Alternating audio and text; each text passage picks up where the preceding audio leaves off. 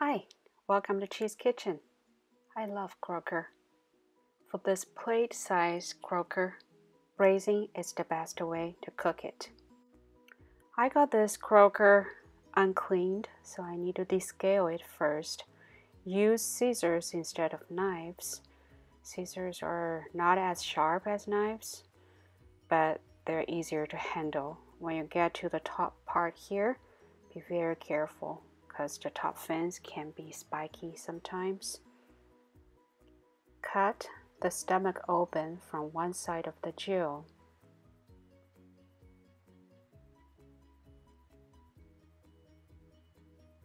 Turn on the faucet.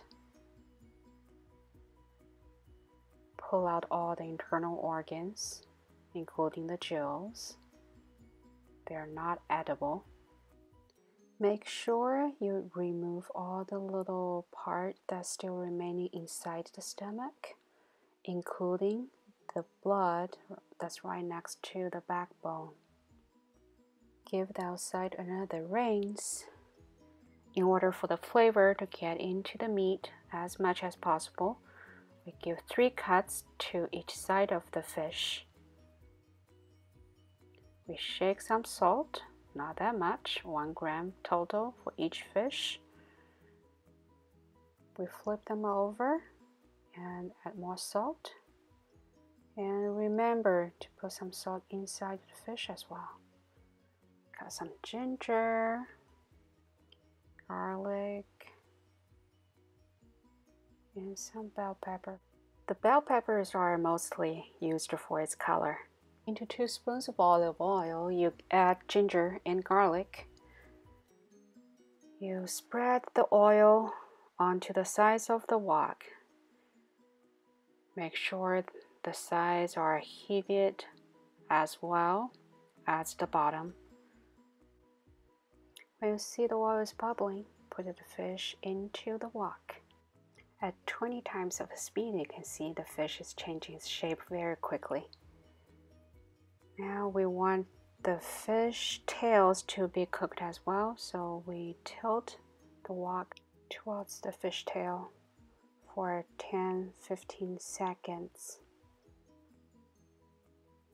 And then we tilt the wok to the other side also for 10 15 seconds.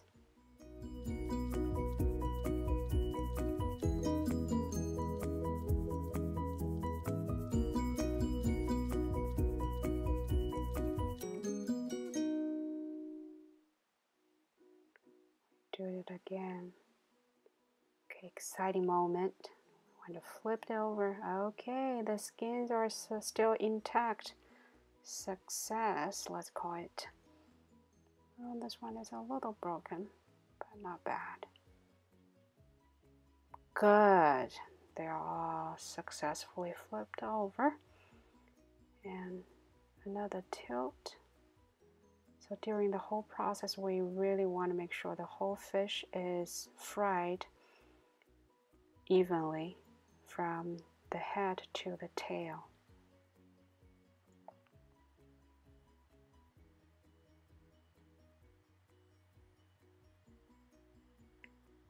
Add 1 tablespoon of soy sauce, another spoon of a dark soy sauce, 2 tablespoons of vinegar. Now we want to add some water to cover half of fish depth. Cover it and let it cook for 5 minutes at medium heat. At the end of the 5 minutes, add 1 teaspoon of sugar Put the bell pepper onto it and let it cook for 2 minutes. Exciting! It's fully cooked. Croakers do have some fine bones. Use caution when you are feeding small children.